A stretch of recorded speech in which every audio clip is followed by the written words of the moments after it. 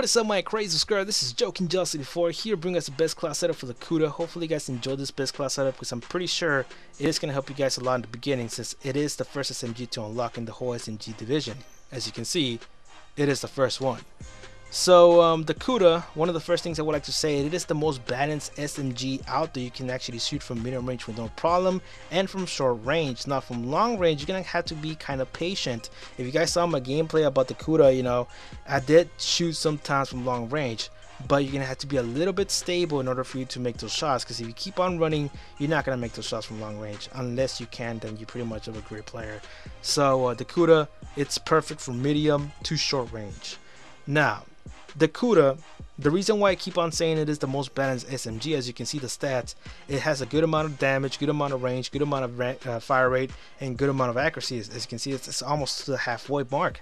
Now, compared to the ones to the Weevil, Razorback, and the Vesper, you know, the Weevil has more fire rate but no damage. It has uh, the, the Razorback has the range but no damage or fire rate, and then the Vesper has a lot of fire rate but no range. So every single other SMG is like one-sided compared to the Kuda, which is pretty much balanced out.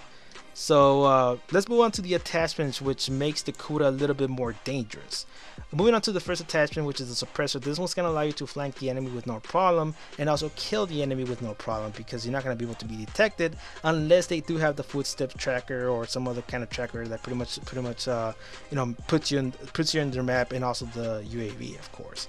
So uh, those are the only ways they can track you down but when you kill someone of course you're not going to be detected. So add the suppressor you guys want to sneak around perfectly with no problem kill every single enemy without letting them know.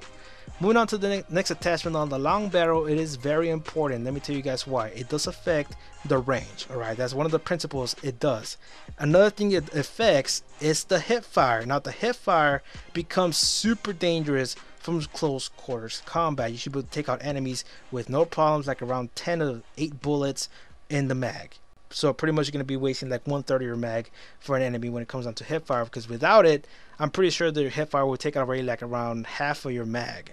So you're actually upgrading the damage a little bit more on your weapon. So add the long barrel to add a little bit more damage to your medium and short range combat moving on to the next attachment which will be the rapid fire.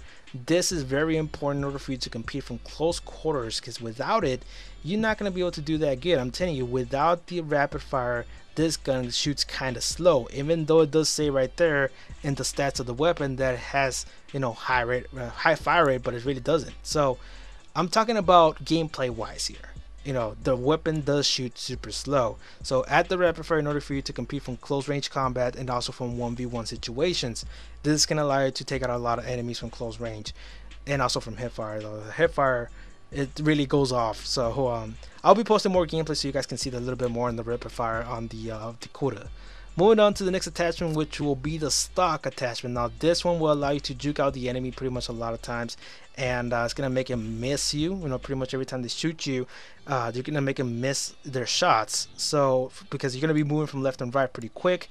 And also seeing how this game is super sluggish and there's no lightweight there's no uh, well there's actually marathon but it's not as fast as uh, the previous CODs um, you know, seeing how slow we are, we're gonna add to that the stock attachment on almost every single gun because uh, if you don't add it, you're gonna feel kind of like I don't know. I feel like sometimes sluggish. I feel like I'm not aiming right or something. I need to move a little bit faster in order for me to to like get closer to the target or something, like surprise him.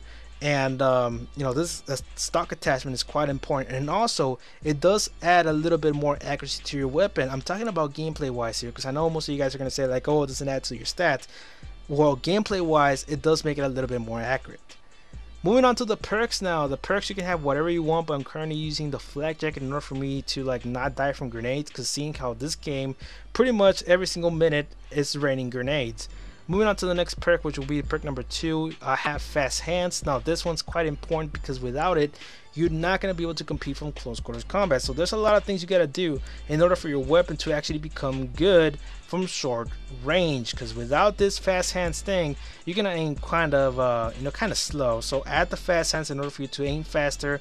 Also swap weapons and and uh, also reset the fuse of uh, throw when you throw back grenades uh, that's gonna add a little bit more extra stuff to it. So add the fast hands in order for you to become a little bit faster, and also to, pre- to prevent yourself from dying from from uh, from frags. Moving on to the next perk, which will be the Blast Suppressor. Now, this is going to allow you to flank the enemy even better because you're not going to be detected every time you jump. So that is it, guys. I don't have no lethal or tactical, and uh, I don't have a secondary. That is it, guys. That's the best class setup for the Kuda. I recommend to use it on short maps, on small maps, tight corridors. You know, it is good for every single map out there, even for large maps. And, and the largest map we have is a evac, I believe and um, I have faced people from you know from open fields of long range, and I'm telling you, it still works. So the Kuda, an all-around weapon, use it every time you like um, just log in. You just want to go at it like whatever you know. The Kuda will be there.